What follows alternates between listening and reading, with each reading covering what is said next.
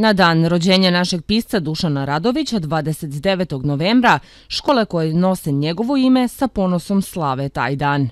Počelo je obeležavanje još u ponedeljak, bilo je tu više kreativnih radionica, naši istoričari i geografičari su pravili postavku juče, e, radili su radove, deca su bila obučena u nošnje, u vremena e, i starina, e, takođe bilo je takmičenje iz matematike, takmičali su se učenici trećeg razreda, likovni radovi su takođe nagrađivani, juče smo dodelili diplome i što je prvi put ove godine birali smo jednu prestižnu titulu po odeljenjima u svakom razredu titulu najbolji drug.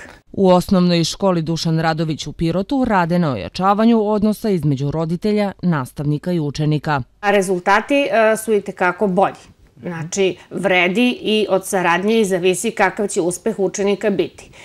Učenici moraju stalno da budu kontrolisani i od strane nastavnika i roditelja, a da bi ta kontrola bila uspešna, saradnja mora da postoji. Osnovnu školu Dušan Radović pohađa 605 učenika u matičnoj školi i isturenim odeljenjima. Temske istaničenje mhm. otprilike imaju isti broj učenika. Oni isto rade kao i u gradu. Kod njih se takođe e, svečano obeležava cela ova nedelja i oni imaju i temate i konkurse. E, samo je malo teže e, otići do njih, inače svakodnevno rade i zalažu se kolege. Direktorka škole Nataša Branković najavila je da će s proleća biti uređeno i dvorište škole.